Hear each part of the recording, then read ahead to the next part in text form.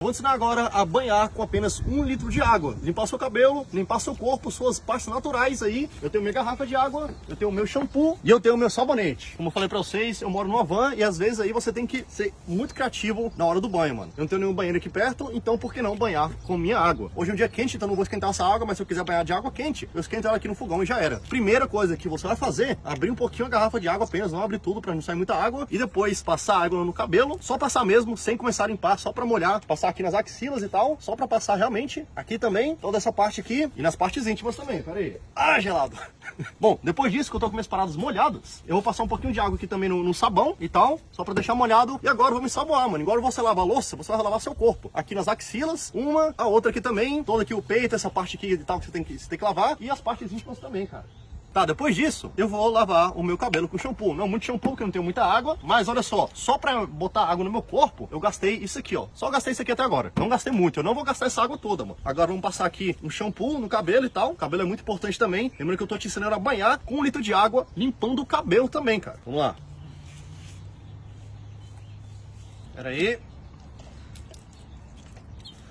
Beleza, passei uma água no cabelo, já passei um shampoo, aqui também tá ensaboado, tá tudo ensaboado e eu não gastei nem a metade da minha garrafa de água, como você pode ver aqui. Como tá tudo ensaboado de boa, meus amigos, agora eu vou começar a tirar o sabão do meu corpo, igual acontece ali com a louça, você primeiro bota o sabão, lava a louça depois, você enxagua os pratos, vou fazer a mesma coisa com o meu corpo, mano. Vamos lá, primeiro começando pelo cabelo,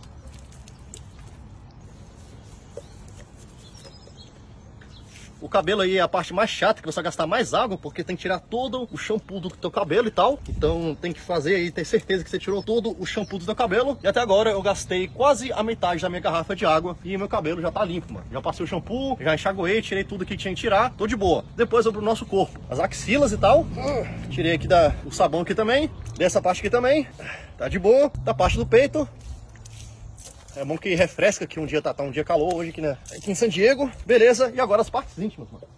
Ah, tá gelado. Beleza. Seguinte, mano. Eu agora estou limpo. Tipo, eu lavei o meu cabelo. Meu cabelo aqui, passei o shampoo e lavei o cabelo. Depois eu lavei minhas axilas. E depois lavei meu peito e as partes íntimas, cara. Só pra você ver que você não precisa de tanta água pra tomar banho. O ser humano aí fica mais ou menos uns 10 a 20 minutos tomando banho no chuveiro com a água descendo a todo momento. Eu aqui, ó, passei mais ou menos uns 5 minutos aqui. Gastei pouquinho mais da metade dessa parada aqui, dessa garrafa de 1 litro. Ou seja, gastei uns 600 ml de água e me limpei todo, cara. Limpei tão bem quanto você limpa aí no seu chuveiro, porque eu sei que muita gente aí passa 20 minutos no chuveiro e fica só à toa. Às vezes fica até com o celular no chuveiro e você fica dispersando água. Então, nesse negócio aqui, ó, você pode tomar água em qualquer lugar, com qualquer água e você vai tomar banho muito bem. Eu aprendi esse banho com o Matias Tartieri, que é um amigo meu que viaja andando e toma banho duas vezes por dia. O cara viaja andando. Ele viaja andando com o carrinho, levando as paradas dele e ele toma banho desse jeito duas vezes por dia. Cara que não conhece pouquinho de água, isso aqui foi exagerado. Ele pega uma água ali de 5 litros de água para tomar um banho muito bem feito mesmo, 5 litros de água e tá de boa, mano. Imagina quantos litros de água você, ser humano, gasta nos seus banhos todos os dias. Facilmente aí, sei lá, 100 litros de água pelo menos. Bom, então assim que eu tomo banho com um litro de água. Compartilhe!